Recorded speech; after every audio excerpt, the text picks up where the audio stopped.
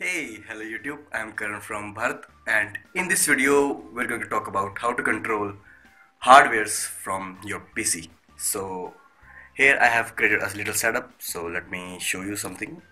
And you can see here that I have my laptop activated, and here I have got a hard Arduino Uno.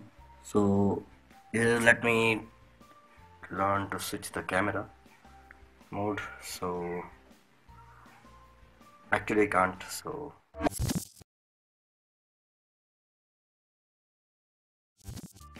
Here you can see that I have my laptop and that's connected with an electronic chip a hardware so via a USB cable. So you can see that it is a clone for the Arduino Uno. I've also got the original chip but for this tutorial I could not find it so I've got Arduino Nano and other stuff other electronic stuff going on. So all that is a mess. So here I have separated a chip simple chip and I have put an LED on pin number 13 you can see here that this is the LED I have got and the chip is activated now. So what we are doing going to do is we are going to control this thing and blink or turn this LED on or off via our CMD so let's have a look here I have prepared a code for the Arduino and I have uploaded the code. So we'll record this thing and I'll try to join things. So as you know that I have opened the Arduino IDE and opened the traditional blink sketch from the files examples. If you don't know about this it's not it doesn't matter. So you just need to know that I have uploaded uh, a code into the chip that I've shown you earlier.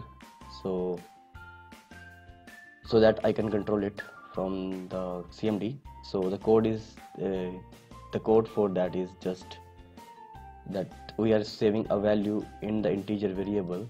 That name is it has the name val so we are passing the int value integer value and saving it in the val variable. So if the value of the val is 1 so we are turning the led on. And if it is 2 we are turning it off. So this is just a delay and the code ends. So this is a small code. As you can see here it is saying done uploading. So i I've already uploaded it in the chip. So to know that in which port my chip is connected so I have to open the device manager. And what I need to do is I need to open up and see that I have connected to the okay port. In the COM port I have connected to USB serial device via the COM port 3 so I have got this information and for the sake of simplicity let me open CMD so that you will not get too much confused and here you can see that the LED is currently not in the light mode. It is not turned on. So if I'll need to send according to the code I need to send one to turn it on.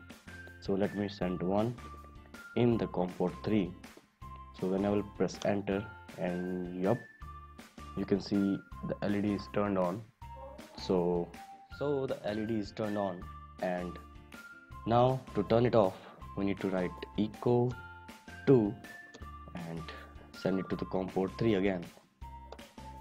Oops at the moment I have pressed enter the LED is turned off. So this is the basic and simple example of how you can control the hardware using the software or your PC so the power of CMD is now in your hands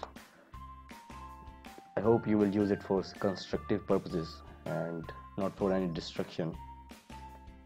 So thanks for watching.